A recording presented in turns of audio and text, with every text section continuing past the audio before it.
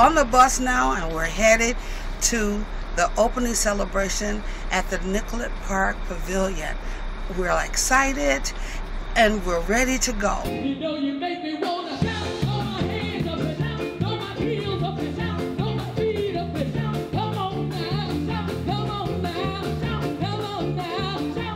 This is our opening event at Nicollet Island Pavilion where we are having the Steeles and a, a couple other performers here tonight. And it's really a place for the people that are attending the conference to get to know each other and to meet each other.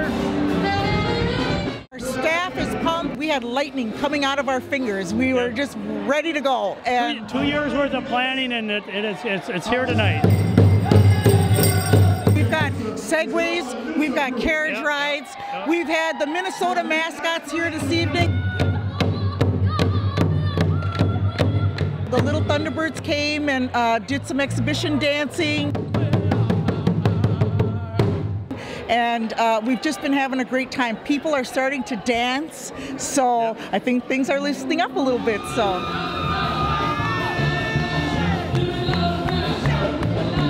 The conference has people from about 35 states that are attending. Um, so we have people all over the United States. We have two folks from South Africa. We have folks from Japan that are here. We have one person that came in from uh, Amsterdam uh, in the Netherlands. It seems that there are more people from everywhere here. And uh, well, I hope to also meet a lot of people uh, who are uh, actually busy in the organizing field. Wonderful Minneapolis on this conference. Give a shout out to NUSA, Neighborhood, USA. I'm on the road. But, uh, this is the pre-conference workshop where I'm, uh, I'm being taught how to record and um, yeah, record and document some of the stuff in, in my neighborhood. Wednesday, we did a uh, documenting your neighborhood workshop, a pre-conference workshop, and uh, and activated a bunch of people to uh, to use their cell phones uh, to use their cell phones to record a little bit of video um, and then upload it to YouTube and uh, you know to record their uh, conference experiences and we're editing those into the pieces that we're doing here at the conference. Uh, Melissa Delaney from Meridian Police Department, Meridian, Idaho. Uh, individual from Nampa Police Department, Nampa, Idaho. Carrie Demarelli, Boise Police, Boise, Idaho. But we're all going to quit the mall cop. That's right. After we have our training right After now. our training, yeah. And what are you doing? What are we? Oh, we're going on a Segway. Yeah. Yeah. All right. Segway. All right. What's your name? Nina. Nina. All right, Nina. You're good to whoa, go here. Whoa, so it's natural for it to rock a little bit. We are ready for a robust day tomorrow. We've got uh, elected breakfast starting at 7:30, and then from there we are going to head out into 60 different workshops throughout the day. Uh, we're just going to keep it rolling for the next couple days. Good morning. We're here at the Neighborhoods USA conference at the Hyatt Hotel in Minneapolis. Uh, right now we have our keynote breakfast happening with John McKnight as our keynote speaker.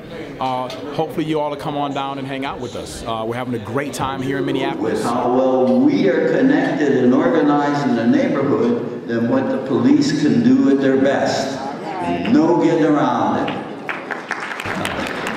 Neighborhoods need to be the center of our country.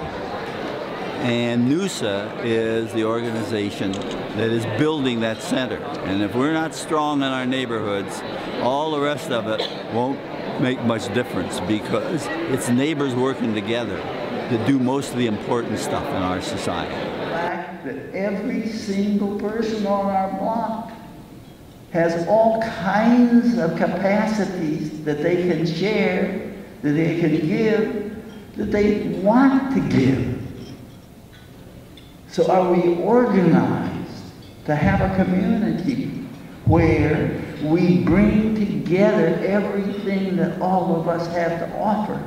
Neighborhoods USA is not just an organization, but it's really a movement of uh, co uh, collectively of neighbors and neighborhoods uh, working for the common good so that we can exchange information, uh, talk about uh, the problems facing our communities, and more importantly, uh, finding common solutions that work for common, common threats.